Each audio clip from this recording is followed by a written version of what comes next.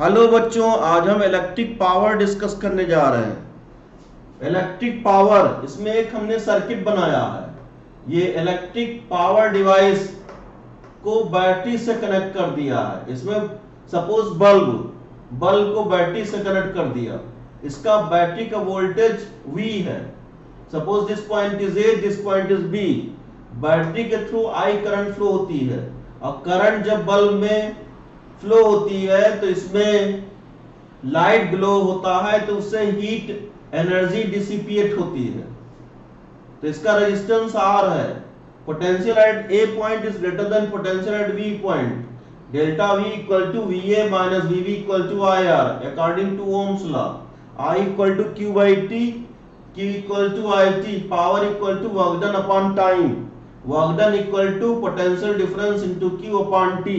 Equal to V I equal to V square by R equal to I square R अब इसमें heat energy find करना है कि कितना हीट एनर्जी डिसिपिएट हो रहा है। तो delta E equal to Q delta V delta E equal to I T into I R delta E equal to I square R T this is heat energy H equal to I square R T power devices like bulb fan heater first point.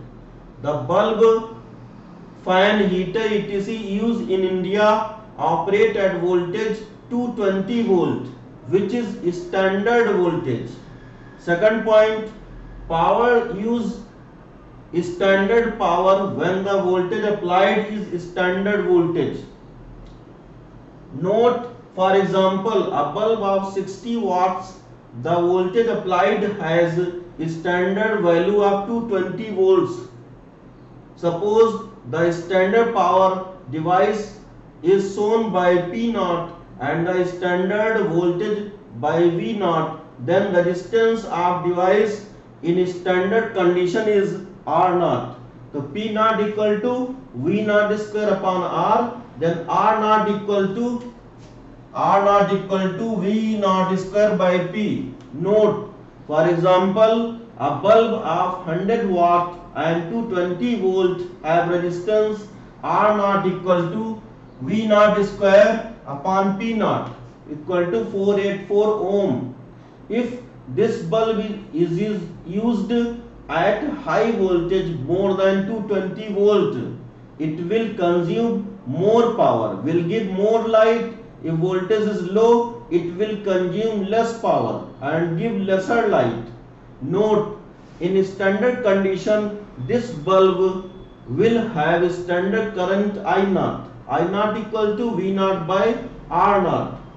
इसमें value put कर देंगे आई not की value आती है 0.45 ampere जैसे एक bulb हमने लिया इसका रेटिंग है 100 वोल्ट 100 वाट टू 20 वोल्ट जैसे पावर फाइंड कर लिया पावर पावर से हमने रेजिस्टेंस फाइंड कर लिया। तो स्टैंडर्ड रेजिस्टेंस 484 ओम है। Potential across bulb if potential across bulb is greater than 220 volt bulb likely to get fused thank you